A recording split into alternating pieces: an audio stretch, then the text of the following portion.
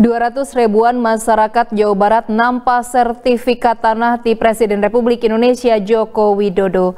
Tapi etat uteh dina eh, tapi eta jumlah anu sakit teh ngurangan tina target alatan sasaran COVID-19. Gubernur Jawa Barat Ridwan Kamil miharap eta tanah anu dibere sertifikatnya dipiharap bakal jadi rohang produktif ulah digunakan ke hal anu konsumtif.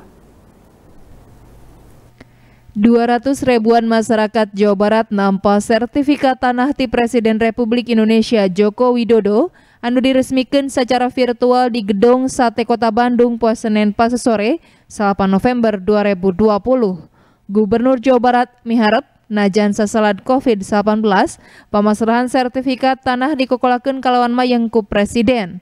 Eta gubernur anu dilandih Kang Emil miharap eta sertifikat tanah anu dipasrah teh dijadikan rohang produktif ulah digunakan ke hal-hal anu konsumtif. Acara dengan Presiden apa yang kita uh, saksikan pemberian sertifikat dalam masa pandemi sudah satu juta yang diberikan ke seluruh rakyat Indonesia dan Alhamdulillah uh, 20 persennya sekitar 200 ribu sertifikat tanah diberikan di Jawa Barat. Kita berharap uh, pemberian ini terus dilakukan walaupun dalam situasi COVID dan saya mengapresiasi kerja keras dari BPM Provinsi Jawa Barat bersama kantor BPM di kota kabupaten uh, sehingga kepastian hukum untuk menghasilkan nilai-nilai ekonomi melalui tanah yang sudah berstatus legal itu bisa dimanfaatkan. Tadi Bapak Presiden menyampaikan agar uh, tanah ini menjadi ruang produktif ya jangan setelah sertifikat kemudian dipergunakan untuk hal-hal yang sifatnya konsumtif bukan yang sifatnya produktif.